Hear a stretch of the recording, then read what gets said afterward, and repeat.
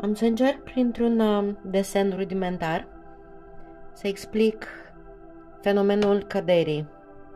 Căderii din universul original. Să presupunem că aici este universul original. Aș putea spune că să ne imaginăm că reprezintă lira, leagănul civilizației umane originale.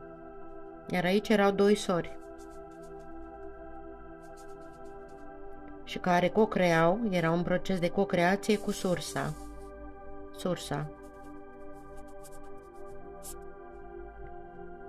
La un moment dat, unul dintre sori a explodat. S-a creat o gaură neagră și asta încerc să fac un desen din observațiile mele telepatice și din fragmentele de memorie pe care le conțin în, uh, în câmpul meu uh, bioenergetic. Deci s-a creat o gaură neagră aici.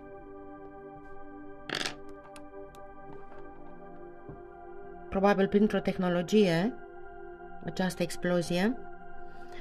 Iar creația de aici a început să se scurgă în jos, în domenii joase. Aici ar putea apărea ca și Bing Bang, ca un Bing Bang, o explozie aici și aici.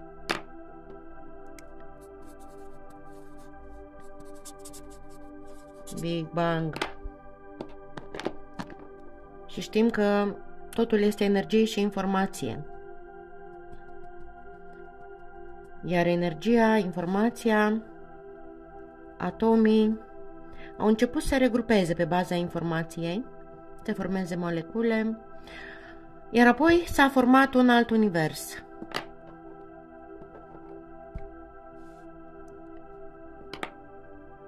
Unul dintre creatorii de aici și-a dorit să creeze singur, deconectat de la sursă, adică nu în proces de co-creație, dar în proces de creație personală, pentru că așa a vrut el. Deci s-a deconectat, a avut loc, s-a deconectat de la canalul central prin care avea loc uh, procesul de cocreație. Această conexiune la sursă, tu te alimentezi cu energia sursei și cocreezi împreună cu sursa. Și a ales să se deconecteze de la sursă și să creeze singur, să zicem că acesta este acest creator, da? și care are în el energia sursei, cu care poate crea, dar el este deconectat, nu mai este conectat. Deci el poate crea cu această energie finită din el. Iar în timp, în timp, folosindu-și această energie creativă, această energie creativă a devenit, această cantitate tot mai mică. Tot mai mică, până când aproape că nu mai există. Și atunci, pentru menținerea universului pe care l-a creat, să zicem, și a ființelor din el, are nevoie de energie, de supliment de energie, deoarece energia este finită. Și vreau să zic că foarte multe personaje care au căzut de aici, din universul original, și-au devenit creatori, subcreatori și toți și-au folosit din energia personală finită, energia sursei,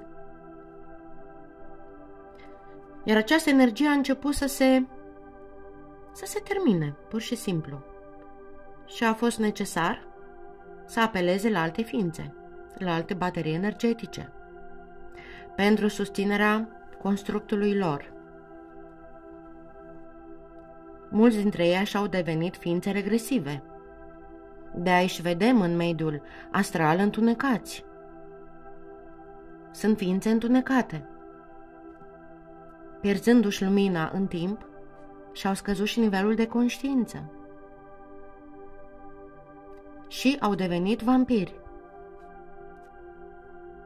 Uh, ceea ce vreau să vă spun, ca și umani, da, să zicem că suntem în, în acest subunivers, pentru că acesta este deconectat de la sursă, toți cei care au căzut aici, în universul în care ne aflăm,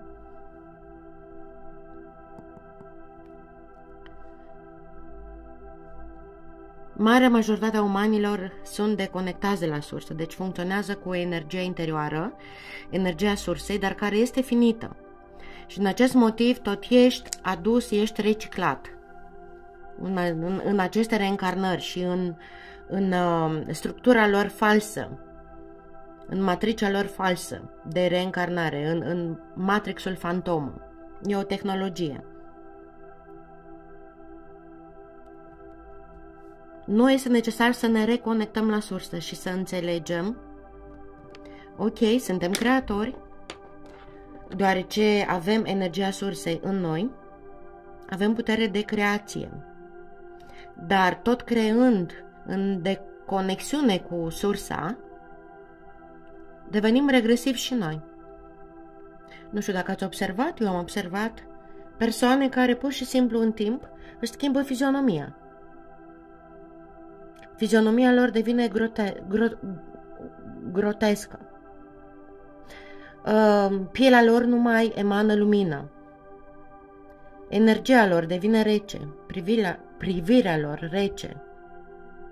Acolo poate unde cândva undeva erau oameni buni, nu mai, nu mai, parcă e altceva acolo sau lipsește ceva. Lipsește căldura, lipsește lumina, lipsește bunătatea. Ei bine, ei acolo, coeficientul de lumină e, e foarte scăzut. Iar la un moment dat um, vor fi la, trimiși la reciclare completă, adică la implozie. În momentul în care nu mai există absolut deloc lumină, are loc un fenomen de implozie. Deci, din acest motiv, este, este foarte important în fiecare zi să afirmăm că această zi, sau chiar întreaga mea viață, întreaga mea experimentare aici pe Terra, este un proces de co-creație cu sursa. Eu co-creez pentru a ne reîntoarce, pentru a ne reconecta la sursă. Această reconectare la sursă are loc prin acest canal central. Acest canal central pe care original îl aveam și care ne asigura conexiunea la sursă. Ne alimentam cu energie, baterii energetice ce suntem, ne alimentam de la sursă. Și în acest fel suntem ființe um, eterne, infinite, da? Dar aici, prin această cădere, prin această de- deconectare, ești finit. Nu mai ești infinit.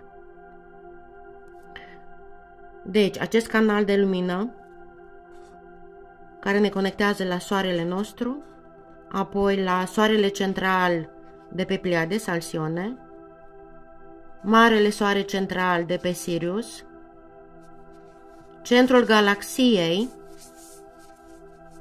care face conexiunea la sursă, deci e un canal perpendicular. La marea majoritate a oamenilor, acest canal este fracturat. Ori în exterior, de la cea cădere, dar fracturat și în interior, datorită traumelor, accidentelor. Iar aici e necesar să ne conectăm cu centrul Pământului, care arată ca un cristal luminos. Acest canal ne oferă identitate cosmică, identitate terestră. Acest canal, prin acest canal, noi ne alimentăm cu energie de la sursă. Prin acest canal comunicăm cu aspectele noastre mai înalte, de, din dimensiuni mai înalte. Pe acest canal ne putem reîntoarce acasă. Dar problema este că la mare majoritatea oamenilor este fracturat. Găsiți pe canalul meu de YouTube meditația de reconectare la acest canal cuantic și de reconectare la Marele Soare Central. E un proces. E foarte important ceea ce vă spun eu acum. Dacă doriți să vă reîntoarceți, altfel deveniți și voi vampiri la un moment dat.